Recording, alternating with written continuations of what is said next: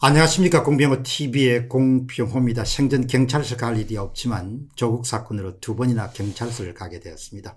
물론 뭐 모든 무혐의가 처리가 되었습니다만 조국 사건에 대해서 논평을 내보내는 입장에서 상대가 비난을 받는 그런 상황이기 때문에 어떤 근거의 바탕을 두고 논평을 내보내기 때문에 저는 뭐 별다른 문제가 없다 이렇게 생각을 해왔습니다.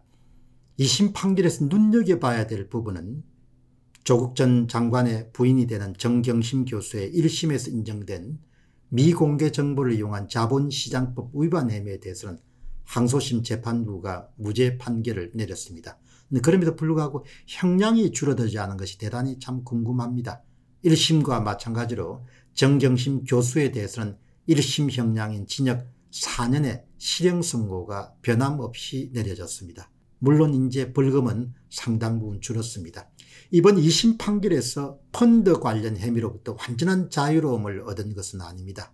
미공개 정보 이용은 무죄 판결이 내려졌지만 금융실명제법 위반과 공직자윤리법 위반은 1심과 2심 모두에서 유죄 판결을 내렸습니다. 다만 이제 미공개 정보 이용은 무죄가 확정됐다는 것이죠. 아마도 조국 사건을 대하는 일반인들은 재판부가 정경심 교수가 주도한 것으로 알려진 입시 비리 문제 자녀 입시 비리 문제를 어떻게 판결하는가에 대해서 깊은 관심을 갖고 지켜봤을 것입니다.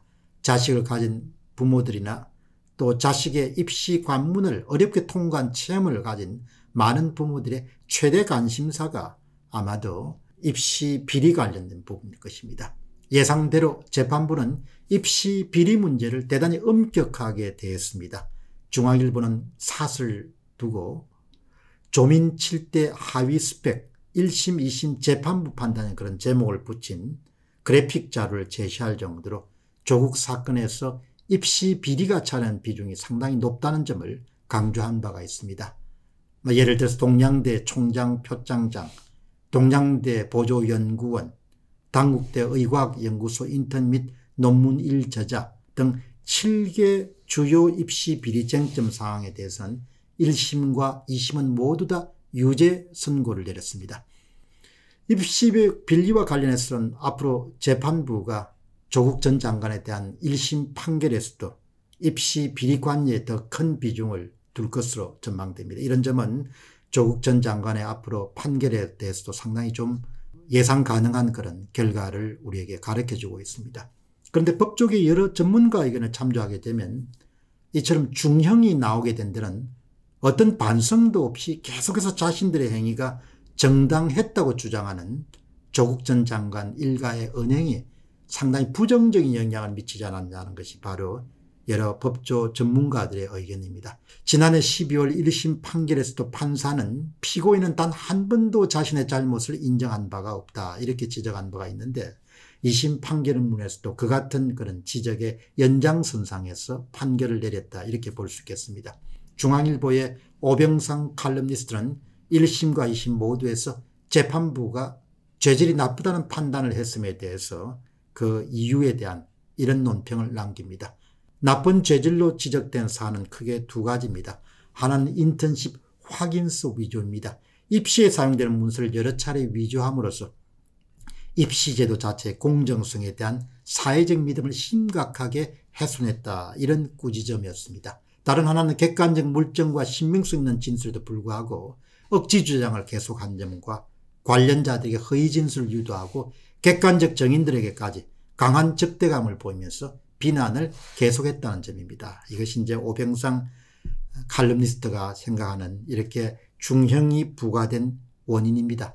대개 이제 이 같은 사안 같으면 대부분 사람들은 반성의 기미를 보이거나 또 유감을 표하게 됩니다. 그러나 조국 전 장관 가족이 법정에서의 그런 주장과 태도를 보면 이제 앞으로도 무리를 빚어서 죄송스럽게 생각합니다. 이런 정도의 유감 표명이 나오기는 어려울 것으로 봅니다. 2심 판결로 인한 법, 범죄 여부, 사실 여부에 대한 판단은 이미 끝났습니다.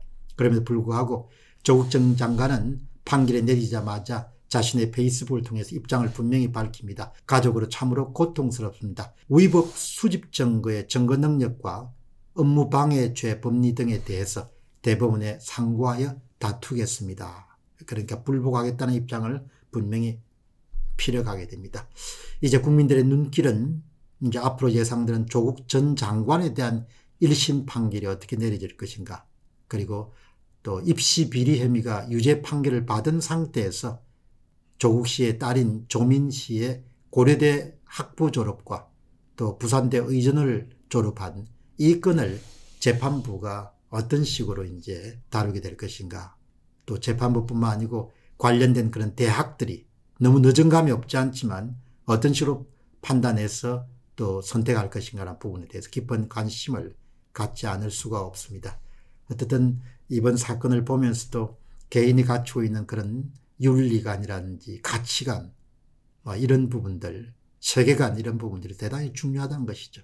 어쨌든 586 세대들은 상당히 독특한 세계관과 가치관과 그런 또 인생관을 가진 사람들이 전부는 될 수가 없겠죠. 상당히 많구나 그런 생각을 하게 됩니다. 특히 권부의 핵심에 올라있는 586 그런 정치인들의 그런 사고방식이나 은행을 이야기한, 이해하는데 조국 사건은 상당히 의미심장한 그런 사실을 우리들에게 알려주고 있습니다. 그러니까 말로 하는 거하고 자신들의 실제 행동과는 큰 어, 은행일치가 하고는 아주 거리가 먼 그런 일들이 자주 발생하고 나는 점을 지적하고 싶습니다. 공병호 TV의 공병호였습니다. 감사합니다.